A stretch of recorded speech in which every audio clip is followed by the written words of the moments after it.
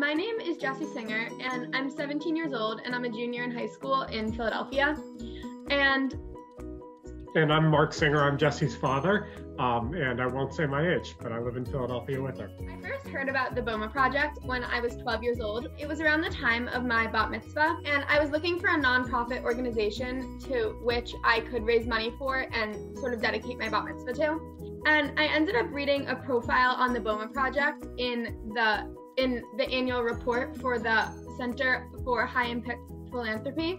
And when I read that, I immediately knew that I had found the one that I wanted to um, raise money for. Just reading the stories of of the women who had worked so hard and endured so much, and also the ingenious training model and the education model that BOMA had set up was really inspirational to me. I knew that BOMA was a nonprofit that could really truly actually make a difference in the lives of so many impoverished women and their children and their families. And I would just add that um, the Center for High Impact Philanthropy is a, is a research center within the University of Pennsylvania, and its endorsement was meaningful to me. So I, I often wind up skeptical of um, of newer or, or, smaller charities that I've never heard of, and um, and so it was a very meaningful endorsement. We know a lot of people who actually work at the center, and so um, in, in, in then taking that endorsement and learning about BOMA, we learned it was truly meaningful. It did like real work uh, on the ground in Kenya, and, and there was nothing at all to be skeptical about and everything to be proud of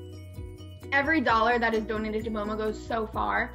And not only does it help women make money and support their families, but it also provides them with a sense of empowerment, which is really important to me, especially as a young girl. I really I really liked the idea of empowering these women to do things on their own and make money and really feel like they had the ability to change their own lives.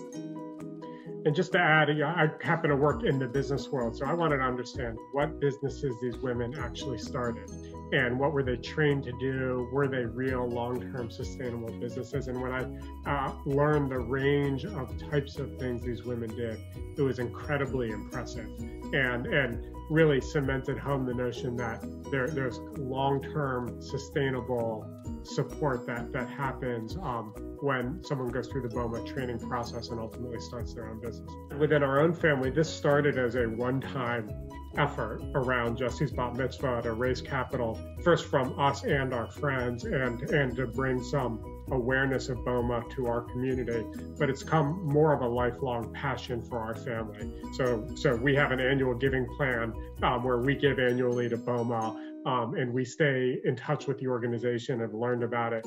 We also hope someday to go to Kenya. Um, and we had explored doing that um, before COVID hit. And so, so we, we feel very kind of committed to the organization beyond just making an annual donation. I just think that BOMA is an organization that can make such a big difference in the lives of so many women, and it doesn't even take that big of a donation to make a difference. Anything you can contribute really helps so much.